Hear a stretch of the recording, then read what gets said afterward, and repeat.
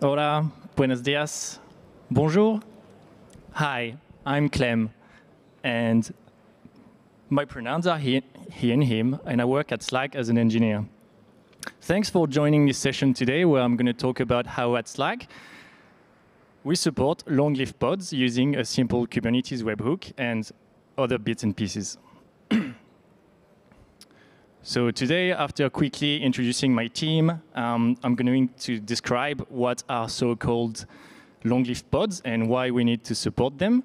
And uh, then we're going to dive into what the solution that we came up with looks like and the different parts that it's made of. Uh, finally, we'll wrap up with a few of the limitations and possible future improvements. So I work in a cloud compute team at Slack, and I'm based in Melbourne. We have about half the team in Australia and the other half in the United States. So let's look at some numbers to give you some context about like what we are dealing with. On a good day at Slack, we get about 16 million concurrent users. That load is spread onto some 45,000 EC2 instances, so we're on AWS. We manage about 162 Kubernetes clusters, onto which some 316 services are deployed. And we have just above 1,000 engineers. We also manage 235 chef roles. And um, although my talk today is focused on our Kubernetes compute platform, uh, we still have important applications running on our original compute stack, which is Chef on EC2. Okay, so let's look at what the problem is. Well, the problem is that some pods want a long lifespan, but the nodes that they're running on are getting killed. So first, let's look at why some pods want a long lifespan, uh, and then we'll look at what actually is killing our nodes.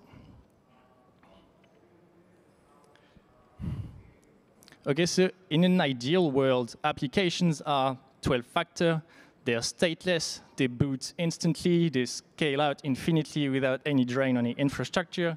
They're fun to work with, um, but unfortunately, we don't live in an ideal world. Instead, we live in a growth-obsessed capitalist society. And we have to deal with applications that are stateful, that can be slow to warm up, that can be intensive on infrastructure when they do scale out. Um, maybe they don't like to get terminated early, or maybe they hold on to some long-lived uh, WebSockets or sticky sessions or things we don't want to lose. So while at Slack we do have some uh, ideal applications, those were the first ones to migrate from our original Chef compute platform to our Kubernetes platform. And so today we're left with a long tail of unruly ducks, which are applications that are hard to move from one platform to another. So this is Peach, Apricot, and Plum, my ducks, and they are very cute friends. Okay, so back to work. Let's look at some examples of applications that fit in that less than ideal category. So first, I've got batch jobs.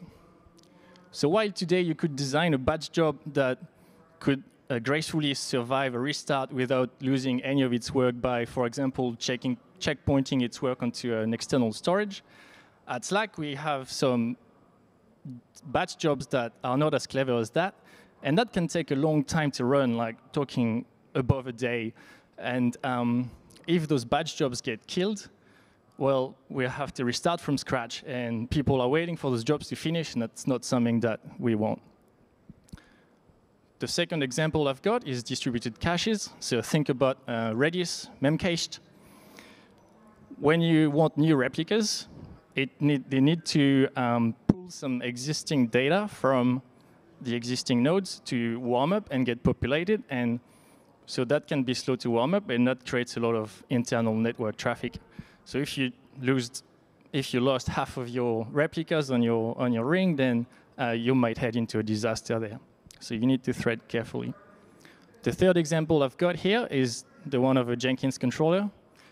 So given that it's a singleton, um, you can only run one of those at a time as a pod. And so if that pod dies, then engineers lose access to Jenkins. So you don't want that to die during the day when people are doing their work.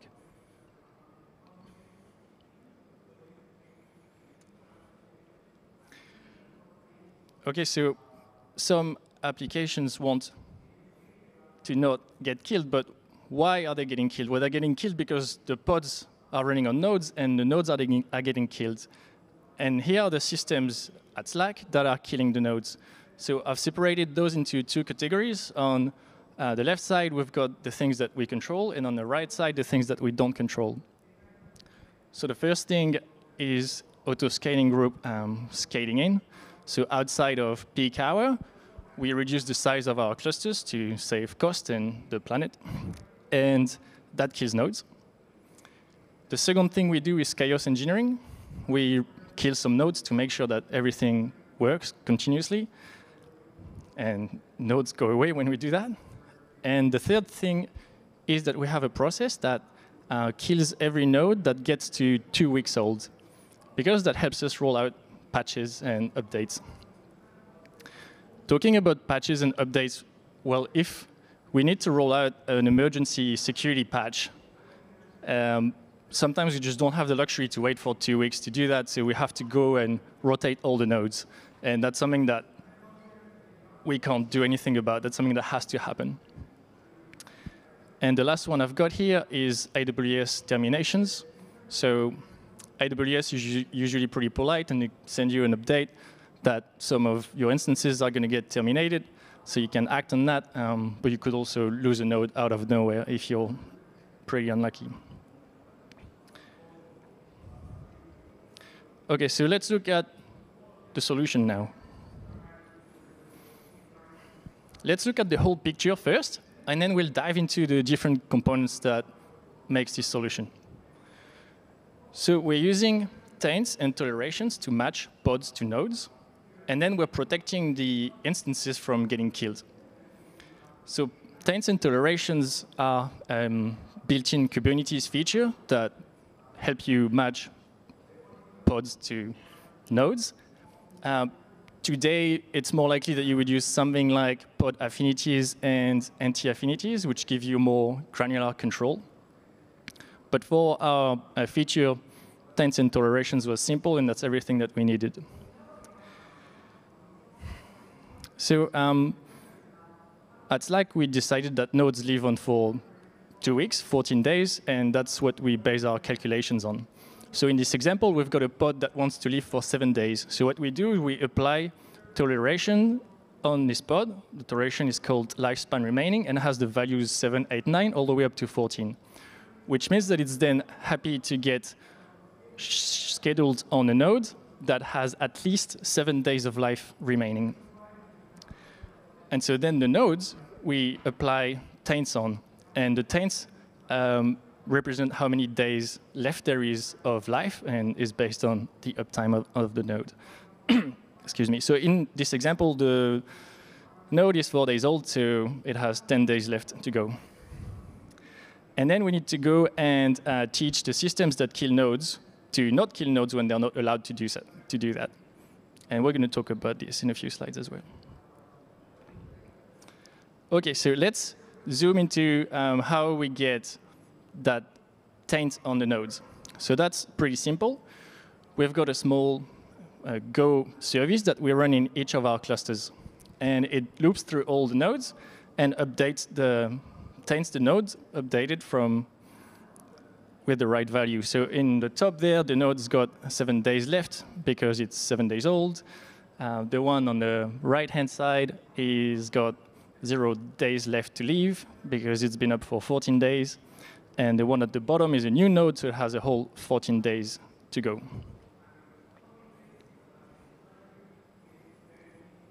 Right, so we applied taints on the nodes, but it doesn't really um, do anything. So now we need to go and tell the systems killing our nodes to understand this concept of taint and toleration that we're using and to prevent them from killing the nodes. So in the next two slides, I'll talk into details about ASG scaling and chaos engineering. But the third one in that I talked about, where we just kill nodes after two weeks, we realized that we could just retire that. because um, thanks to the first two ones, nodes actually don't even make it to two weeks already. So that's something we could retire. Uh, but then we're left with the things that we don't control. And so if we need to roll out a security patch or if AWS kills an instance, this is just like too bad. So in a way, this uh, is part of the contract we have with our users of this feature, that the feature isn't perfect, and sometimes something like that might happen. And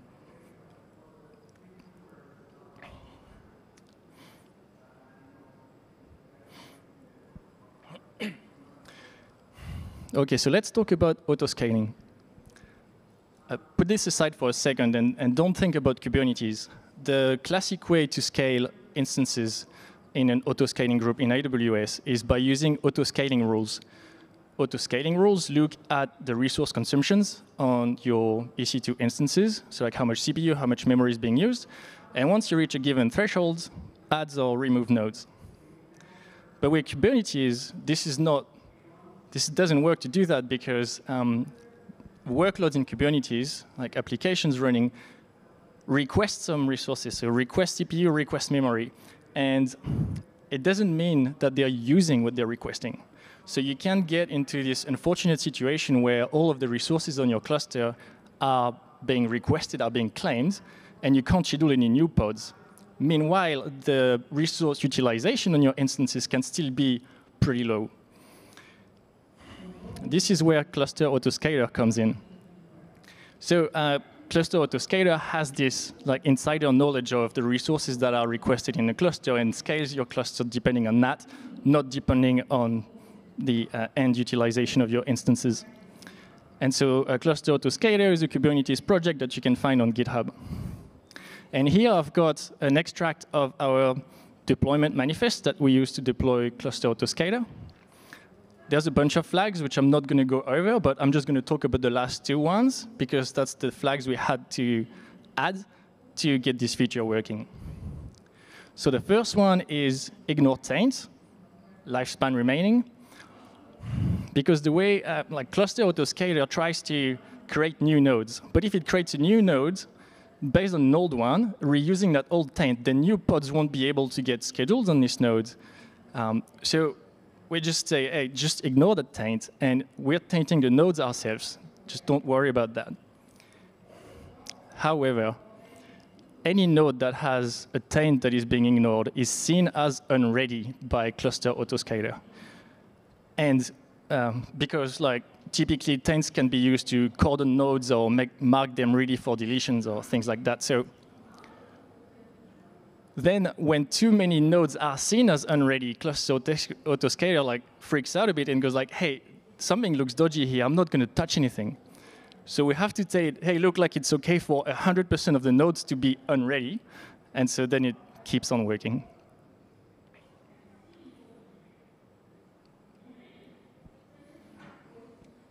So I mentioned that we're doing some chaos engineering. We have this service called kubetest cluster and it loops over every cluster we have.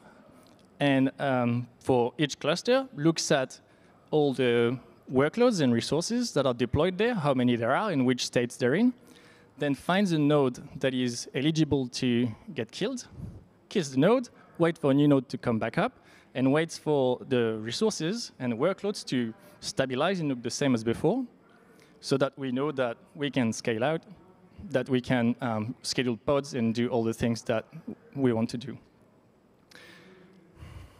But how do we know if a node is eligible to get killed?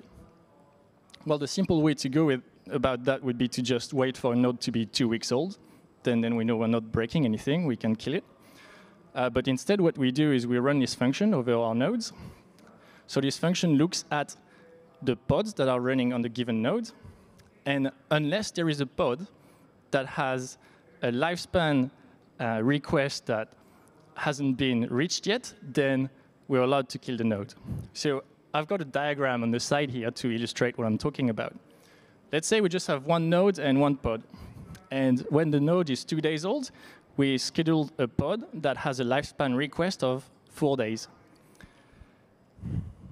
For the first four days here, uh, that function will return false. We're not allowed to kill the node because there's a pod there that still needs to live for a few days. But after four days, so when the node is six days old, then the function will return true, and we're able to kill the node uh, without breaking any contract on the pod. And so we can kill the node before it gets to 14 days old.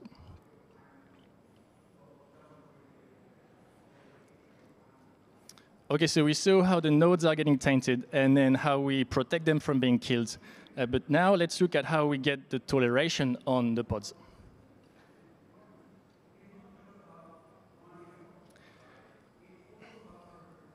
So at Slack, users typically don't deploy Kubernetes manifests uh, directly by themselves. Instead, they write a Bedrock YAML config file that gets parsed by our tooling chain and creates Kubernetes resources. So in this example, there's a service called Grumpy Service that has one uh, stage to be deployed in dev, asking for one replica and for a minimum lifespan of seven days. That YAML config file gets passed by our Bedrock CLI, and Bedrock CLI creates a Kubernetes deployment on the targeted cluster. So it takes that minimum lifespan field in the YAML, uh, Bedrock YAML file and turns that into a label on the node. And the label is called lifespan request, requested. so we've got a deployment. The deployment controller goes and um, tries to create a pod. So the kube server API sends an admission review request to our admission webhook. The admission webhook looks at the pod spec, mutates it by injecting all the tolerations that we need based on the label that was on it, and um, returns the admission review response to the Kube server API with that JSON patch. And so a pod gets created with the tolerations all the way from 7 up to 14. So users never have to type all that by hand. Instead, they just punch in the fields in the initial uh, YAML file, and the magic happens. So to do that, we need an admission webhook. So I went online, and I tried to find out how, like, what's the best way today to get a, an admission webhook off the ground and deployed in Kubernetes. And I found Kube Builder, which I'm sure you're familiar with. Let's, this is like the first line in their README. Kube Builder is a framework for building Kubernetes APIs using custom resource definitions. So here already you should start thinking that we might not be on the right track because we're not doing any CRDs, we're not controlling any resources like what we're doing is, is stateless. Like we just want to mutate requests on the flight. On the right-hand side, um, I've got the architecture concept diagram from the Kube Builder documentation. And this is probably too small to read, but I just wanted to put this up to illustrate, to show all the capabilities that uh, Kube Builder has. So we actually don't need most of that. Like all the controller stuff we don't need, we don't need to manage anything. All we need to do is the right hand side box called webhook. So instead, we went and wrote a simple admission webhook in Golang. And that worked pretty well for us, so we went and open sourced it. So you can find it on the Slack, Slack HQ organization on GitHub. Um, yeah, and like, look, even if it's not something that you need or want in production, uh, this repo comes with a makefile that uses uh, Docker and Kubernetes in Docker, also known as kind. And so you can, with a couple commands, just get a Kubernetes clusters running on your laptop, deploy the admission webhook, deploy pods, look at the logs, or change the code, change the validations, mutation, redeploy the webhook, and see what's going on. So what I mean is like, I'm hoping that this might have some educational value if you are not super familiar with how admission webhooks work in Kubernetes, well, maybe that's something that you want to play with. It also comes with a blog post that uh, goes into a bit more detail on like how the different parts of the codes uh, interact.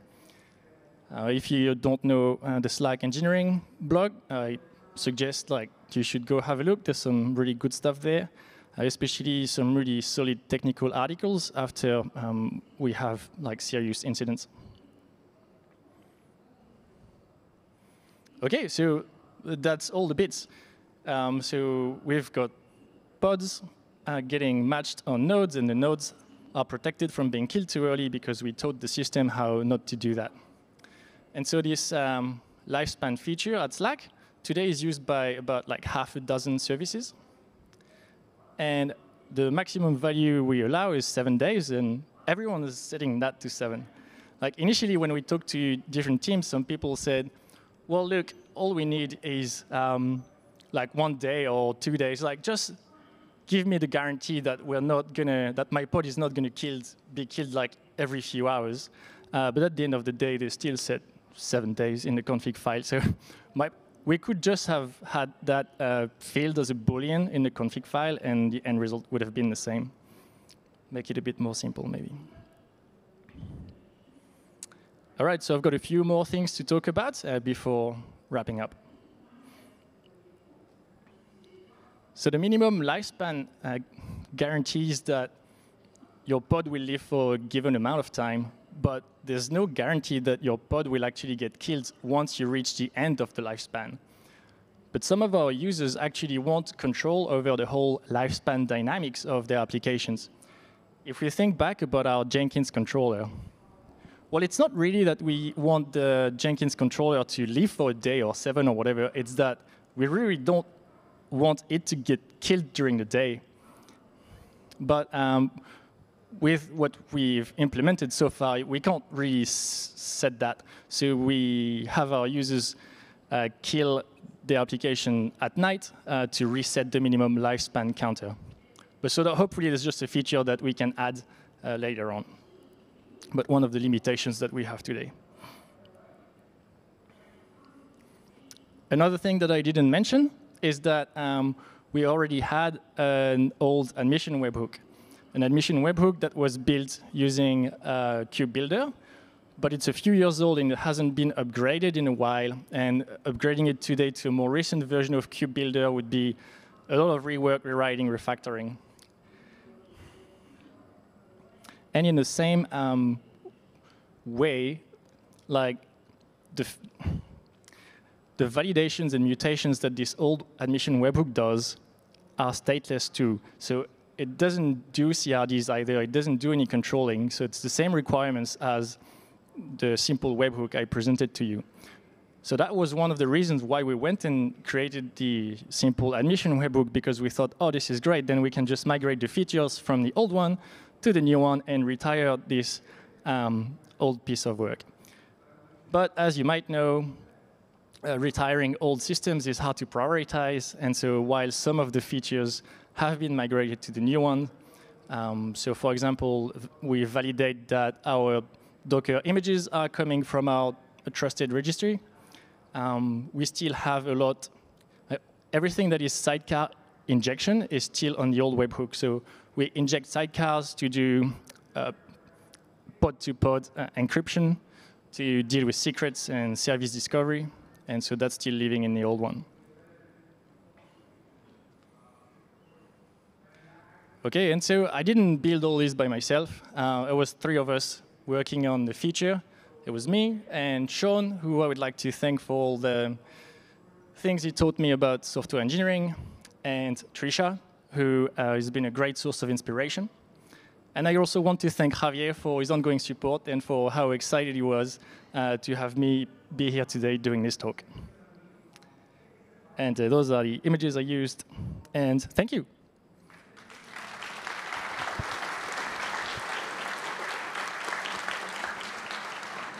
Perfect. Uh, great session. Uh, so now time for the Q&A. Um, there was one question online about the slides, but they're going to be added to the uh, event platform, I think. Yeah. Um, the link to the slides was that was the question. Yeah. Link to the slides. Yeah. Also, the slides are on uh, Sched, yeah. so you can just download them. I did a few updates today, so I'll re-upload a new version after that. Perfect. Any questions here? Okay, there. Thank you. And why, or which is the reasoning behind having two weeks uh, lifespan for all the nodes? And probably related, another question. And can you guarantee that uh, within that uh, two weeks lifespan, and because of um, uh, security rollout, every node will have uh, 14 days uh, day span. So, and if eight days uh, and goes, let's say, eight days passes, after that, if someone asks for seven days span, uh, you will then you wouldn't be able to to schedule because there is no node available. So how do you deal with that? Yeah, right. Um, so like the, the two weeks is is historical to start with. So this has been um, like the cadency as to how often we rotate nodes and how often we roll out uh, patches. And this is why the maximum we set is seven days, because then it means we have seven days to kill the nodes and get everything done. Because if we let people set two weeks, then at the end, then we have to rotate all the nodes at once, and that's not a position we want to be in. Um, but uh, most of our applications don't use this feature. So from seven days to zero, then most of everything we have will still run on the nodes. It's just uh, the few picky ones that want that lifespan uh, request that won't be able to run on all their nodes from 7 to 14 days. Great. Uh, any other questions? Oh, there we have one really quick hand. Thanks for thanks for the presentation. Uh, just a question: Services do do they know internally that they have uh, this many days to live? For example, if I start my service at Slack, uh, do I know that my service has seven days, and then do your, your, engineers do something about it, like the exit gracefully at seven days, and then they are just not consuming resources, or and then you end up with empty nodes, or how do you deal with that? So you mean uh, services that don't use this feature? If my if my service is configured to request 10 days of minimum lifespan, then what I could do with that? Could I exit in 10 days and then stop uh, the, the pod from running and just sleep? or um, do, do, you leverage that in some way? So if your service is requesting 10 days, then after the, the 10 days, then nothing will happen right then. Uh, but it'll likely get killed within 10 and 14 because that's like how fast we rotate nodes. Am I answering your question? Okay, so so developers don't do anything with that 10 days lifespan. Oh no no no no! It's just it's um, yeah it's just a, an extra guarantee they have on like the stability of their workloads in our infrastructure. They don't, yeah, they don't have to do anything. Thanks. Great. Was there any more? Yes, this one.